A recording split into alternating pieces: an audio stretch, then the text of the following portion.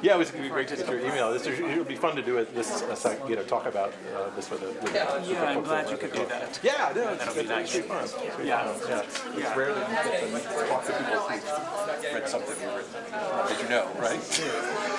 Yeah, it's a terrific book, and I, I really love the um, previous. I haven't read, read your first Oh, right, right, yeah, yeah, yeah. Oh, the Steel Driving Man, yeah, yeah. that one there, yeah. But um, Yeah. Yeah, it's a very, uh, the, the connections are, are hard, you know, the, I mean, they're both about big corporations, right? and they both have an autobiographical element. They do, that may be yeah. about the author more than the subject. Right. Yeah. But anyway, I'm really looking. Oh,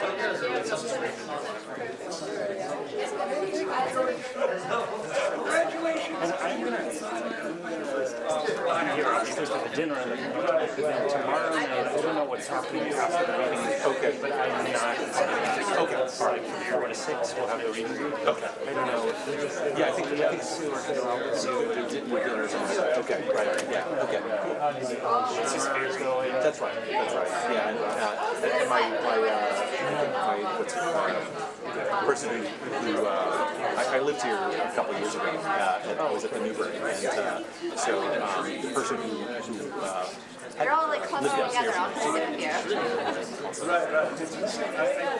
Hi. Hi. Nice to meet you. Nice to meet you. Um, I gotta go put my stuff down. all right. All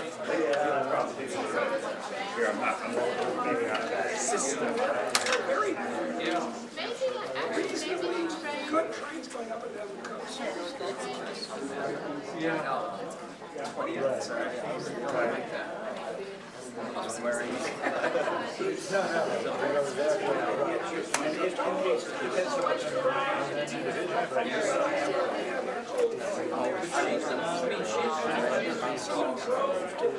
Anyways,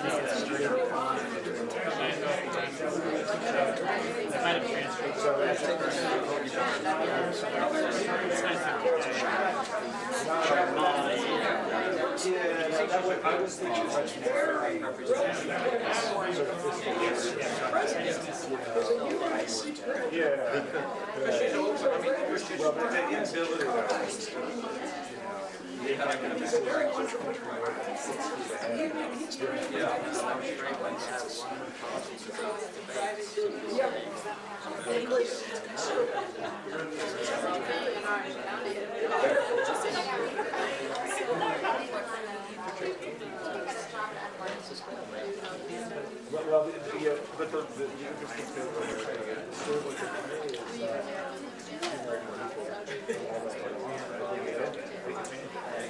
You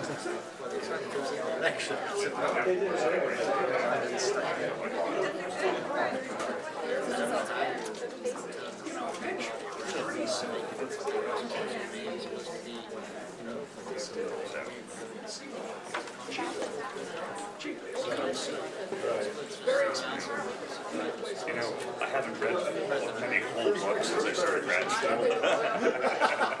I know that feeling? Like you right? Was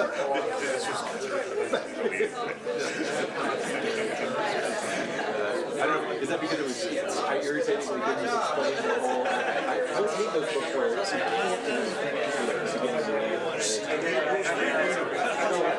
it, and it's stuff I think about a lot. My so, so, you know, this is, uh, you, you know, it was, uh,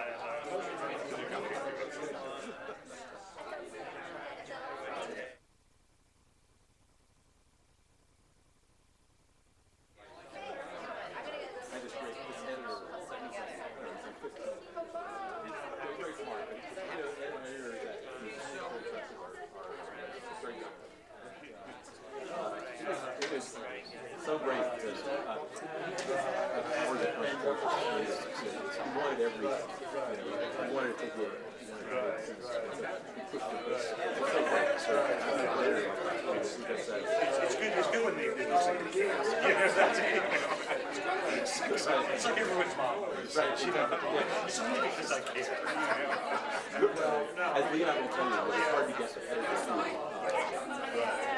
push you, they push you to, things. Especially now, there's such know the speed is usually so high. It's, it's, um, but it's come, you know, there are other big ones, uh, you may have heard of Ricky Phillips. I've, I've heard, yeah. I, think- I haven't, I haven't got, I think it's on my exam list, but I haven't gotten to it. It's like, you know, two, two different worlds. Right, yes, I guess this is about sort of rich fans or both places. I guess, yeah, there's, yeah, there's, there, there, there is that element going on. And you know what, now that I think about it, they're pretty much the same.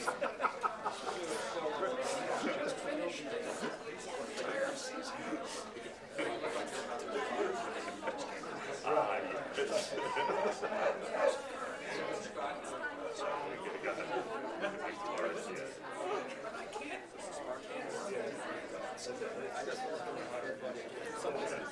my, uh, I'm.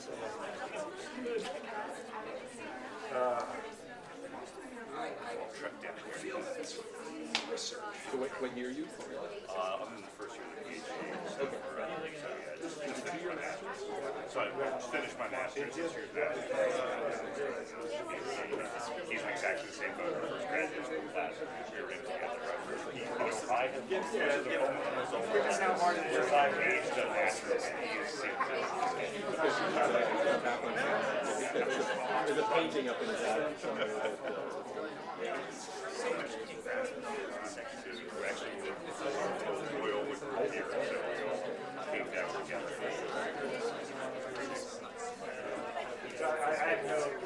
real connection to the university, but I just thought it sounds, you know, an economist, I'd love to hear, like, this, you, you even just about it. Well, the one we have, we don't have it.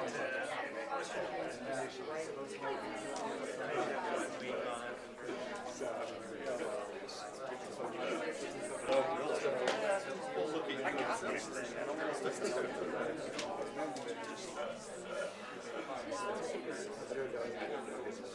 it's,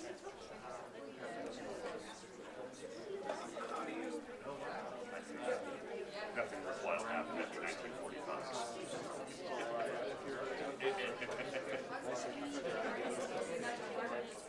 Oh, sorry, is that right in your face? Well, I think we're going to start. I'd like to welcome everyone to this cold, dreary day. Thanks for coming to the uh, Institute for the Humanities. And uh, we're very happy to be hosting the second lecture in our 30th anniversary series, Crisis Through the Lens of the Humanities. Now, you're all sitting on a card there that has definition of crisis, and we thought, I thought that would be a good way to start. Um, If you look at it, um, uh, this is it's kind of interesting when you, when you look at all the different possibilities. Crisis, a stage in a sequence of events in, at which the trend of all future events, especially for better or for worse, is determined, the turning point a condition of instability or danger, as in social, economic, political, or international affairs, leading to a decisive change. A dramatic, emotional, or circumstantial upheaval in a person's life. Um, the point in the course of a serious disease at which a decisive change occurs, leading either to recovery or death. And then finally, the point in a play or story at which hostile elements are most tensely opposed to each other. So we've heard a lot of discussion lately about the crisis in the humanities. Um, But for our 30th anniversary programming, we decided instead of thinking about the crisis in the humanities, we would look at how the humanities view crises. Um, That is, how crises appear through the lens of the humanities, how the humanities can help us understand the origins, nature, and scope of crises. And so our programs have been exploring several different kinds of crises. We started with oil and water in the fall. Today we're going to look at credit and trust, and in March we'll be looking at epidemics. Um, So this is, this is our way of, the- of, of uh, looking at how the humanities can in fact address um, issues of uh, crisis, not just in our own world. Um, today we focus on credit and trust with Scott Nelson, who's the legume, we don't know how we say it, legume? Legum. Legum Professor of History at the College of William and Mary. Um, but before we start, I want to make a few announcements and talk about some upcoming programs here at the Institute. On February 28th, one of our dissertation fellows, Smita Das, who is a UIC English graduate student, is going to lecture on um, From Coolie Convict to Indian Gangster, Styling Citizenship in Colonial Apartheid South Africa. Um, Our next crisis program will be on March 6th. The theme, as I said, is epidemics, and we'll host Priscilla Wald, who's professor of English and Women's Studies at Duke University. Her talk is entitled Outbreak, Outbreak, Contagion, Sensation, and the Obscure Geography of Poverty. And there are two other events coming up this spring that I just want to let you know about. On April 4th, Eric Schlosser, who is the author of Fast Food Nation, will speak on food justice and American injustice. And on April 19th, Dipesh Chakrabarty, the Lawrence A. Kimpton Distinguished Service Professor of History, South Asian Languages, Civilizations, and the Law School at the University of Chicago will speak on climate change and the historical imagination. Now, for those of you who are regular Institute attendees, we will have a, well, for everyone, we'll have a reception after, but for those of you who usually come, instead of being over there, the reception will be back here right after the talk, and everyone is invited to um, stay and uh, enjoy some wine, some food, and some informal conversation. And now I'd like to introduce Leon Fink, uh, Distinguished Professor of History and UIC Research of, Researcher of the Year in the Humanities, um, to introduce Scott. It's nice to have your publicity agent in high places. Uh, So I'm glad to be able to welcome uh, Scott, uh, uh, Scott Nelson to uh, UIC. Um, A little bit of background. Um, As uh, we all know, an advisor can play a key role in a student's life. Now, I first knew Scott as uh, an under, when he, he was an honors undergraduate at uh, University of North Carolina, Chapel Hill, and he did his uh, honors essay as a senior on the Panic of 1873. Uh, I thought it was a good piece of work, and that would be the last we would see of that topic uh, uh, for a long time, as far as I was concerned. Uh, Scott went on then to do graduate work in the Department of History at UNC, uh, and uh, he uh, approached me with an idea that he, of course, it was a, it was a department that specialized in Southern history, but he came up with a, initially a, some research topic. He was interested in the, the, the Southern Railway um, ex-slave laborers and their uh, conflicts with the Klan, uh, which uh, I thought would be a great article. Uh, and, but as I said, I really wondered whether there would be um, sources for that for a larger project. Well, a few years later, he emerged with this uh, wonderful dissertation uh, and book, Iron Confederacies, um, Southern Railways, Klan Violence, and Reconstruction. Uh, now, uh, he uh, then turned uh, and would regularly engage me about his projects. I'm not sure why, but his uh, next project, he, he, he came, he told me that he was interested in writing a social history of John Henry. And I said, Scott, that would be great as a folklore or cultural studies project, but as a social history, your, your subject doesn't even exist. Uh, There's no uh, John Henry as a historical figure. Then, again, a few years later, Scott comes and says, well, I've discovered the real John Henry. Uh, And sure enough, um, in The Steel Driving Man, John Henry, an untold story of an American legend, Scott uh, did the legwork uh, uh, to find this prison laborer uh, for whom the whole legend was uh, circled. And it was a, the, the book itself was the winner of, among several prizes of the uh, Merle Curti Award for the best book in U.S. social and cultural history.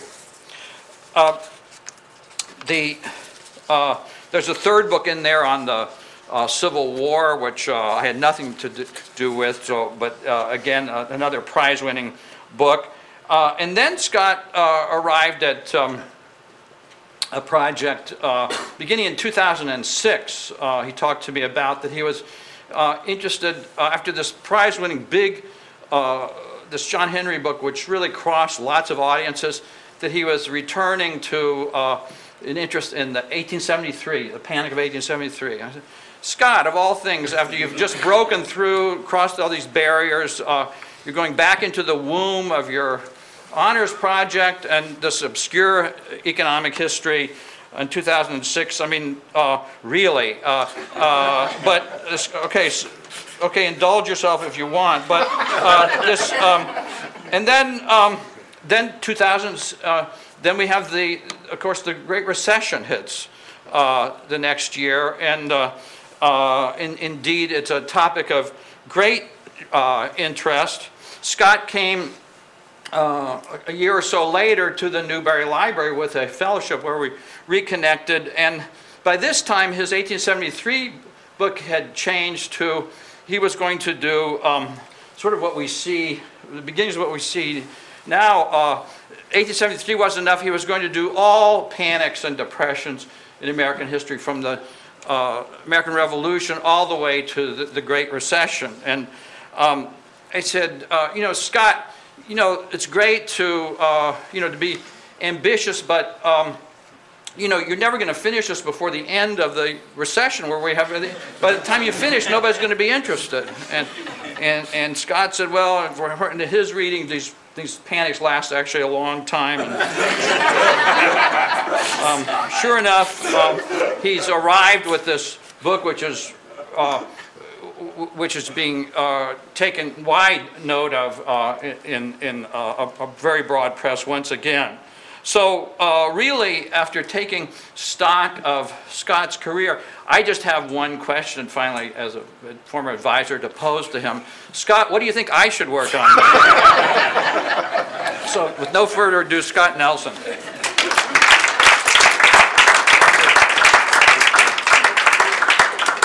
Thanks, Leon. Uh, Yeah, Leon uh, is, uh, was a fantastic advisor. What- what- One of the things I remember most about Leon was um, when there were questions, i- i- with job talks, Leon would ask this question, he'd be among the first to ask the question. It would be complicated. and I think it was the German that he, that he learned in, in school and uh, undergrad. It would be compound, complex sentences, all the verbs would be packed at the end. Would, you'd have to re- read it, listen to it very carefully to figure out what the question was. But it was like an origami hand grenade, the, the question, because people would start to unpack the question and then realize that he had kind of found the heart of their argument and with this devastating critique. And uh, so often, you know, if they were smart, they'd start to, to unpack it and they'd, they'd respond and then they'd think, oh, oh, oh, I, I yeah. So they're uh, watching the faces of people uh, from the questions for Leon. So I'm really looking forward to the question. Yes, for me about uh, this piece. Um, So financial panic, uh, the, this is uh, panic as, uh, as a volcano. Um, I, the, the way I came to this project is funny when I was initially going to do the Panic of 1873. Um, in July, let's see, in, in uh, August of 2008, I posted this thing on Facebook to, uh, about, I was struck by all the parallels between 1873 and 2008. Uh, Very short piece, obviously, a Facebook posting. And a friend of mine who's a journalist said, everyone's talking about 1929, but no one's talking about 1873. And so she said, you should contact the Chronicle and write a piece for them. So I wrote a piece for the Chronicle of Higher Ed uh, about the similarities I saw between the Panic of 1873 and the 2008 uh, developing uh, banking crisis, and I said it was one that started in banking and then moved to the stock market, that uh, started as a housing bubble and then a crash, and I did- uh, drew some parallels. And I, she sent it back, and she the, the editor, and she said, "Well, what if this is tr- if this is like the Panic of 1873?" And you persuaded me that some. What would happen? What's going to happen?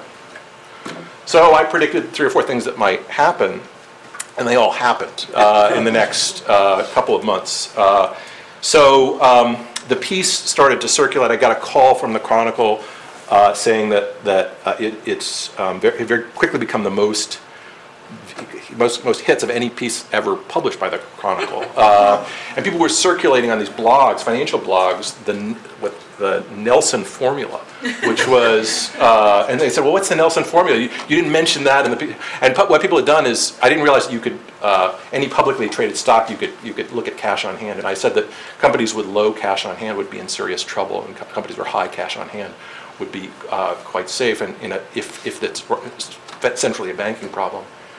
And, um, and people were shorting low cash on hand stocks and buying high cash on hand stocks in September of 08. And so people made actually millions of dollars. A bunch of fund managers made millions of dollars using this Nelson formula, which I confess I did not make a nickel uh, on, on this. Um, so that's, that's uh, I, I got, I guess it was September 3rd, I got a call from UBS and then from uh, BlackRock and then from all these other banks and funds asking me for the footnotes for this article that I wrote. Uh, where did you, you know, how do you get this thing about the money crunches and things like that? Where does this come from? And, um, and then they asked for, they said, well, what's, what's the book to read on all the history of all the financial panics, how they happened? Because some people say this is like 1837. And, and I thought there was a book like that. And there's Schumpeter's Crashes book, and there are a couple of others that function that way, but um, not, uh, not looking at it kind of through the mechanisms that I was looking at it. Uh, and so that's, that's the book that uh, I decided to do. And so that's, that's where this uh, book comes from. I'm not going to tell you the whole book, but I want to tell you kind of five things I learned as I wrote uh, this book. Uh, the first is um, that uh, the, the way in which, and I, and I kind of understood that the Bank of the United States was one of these issues between the Federalist Party and the Democratic Republican Party, but I didn't really realize how fundamental it was, really in the creation of the Democratic Republican Party uh, to begin with. That uh, it's, it's not just uh, that it's one of the issues alongside the Britain-France issue and you know, all the other things that we're used to thinking about with the, with the Democratic Republicans, uh, not just Hamilton versus Jefferson, but it really kind of goes to the heart of uh, this. Um, Jefferson, when he's asked about the charter of the First Bank of the United States, um, responds by making the first claim for strict construction of the Constitution, uh, arguing that the, the Constitution is a parsimonious document and that one should not go anywhere beyond it. Um, it's, it's, in- it's, it's not the Virginia and Kentucky resolutions, which happened later, it's the bank that becomes his first uh, place uh, for looking at this. I, I want to briefly talk about the Constitution and how we get this first Bank of the United States uh, to give you a sense of this. One of the things I think that's important that I, I sort of didn't see at first, but saw as I started writing, reading through the uh, newspapers, is the role of um, the revolution itself and these continental uh, dollars that are issued by Congress uh, during the crisis, the revolution. And, and what, what happens is that Congress is issuing this currency, um, but it's not really backed by anything. Cong- the, this Continental Congress does not have uh, a kind of source of funding. And um, these uh, no- Continental notes that are issued uh, quickly become almost valueless. Uh, the Continental Congress, in the initial formation of the Articles of Confederation, uh, has relatively little power, has no direct taxing power, and people recognize this. Uh, the other thing that happens is that the British um, Army figures out that the U.S. is, is effectively doing this sort of deficit this, this United States, as, as it's trying to, uh, to break free from Britain, is, is engaging in this sort of deficit spending. And so um, uh, British generals start to um, uh, counterfeit these continental dollars and issue them, you know, fighting financially. Uh, and so um, these dollars become uh, almost valueless. The 40 for 1 Act, passed in 1793, basically uh, says that uh, for every $40 in continental dollars, there's $1 in silver that the federal government will fully pay for this. And so uh, it's runaway inflation uh, that really hurts people who are obliged to hold currency, which turns out to be workers and other, uh, and other folks. There are um, kind of middling folks, the people who are, are speculating are uh, immediately jumping out of this currency, but other people who are holding it are hurt by it. And it's this anxiety, this anger about the continental um, currency that helps make the case for the Constitution. As the, as um, the um, uh, kind of, uh, Federalist Papers are issued, um, the Anti-Federalists kind of criticize them, the Federalist Papers return again and again to the failures of the Continental dollar, that this is, and it's part of this reason that the federal government is not allowed to issue currency, and neither are the states. That, that this, this runaway inflation is a serious problem, and uh, it's an embarrassment. Congress needs a checkbook.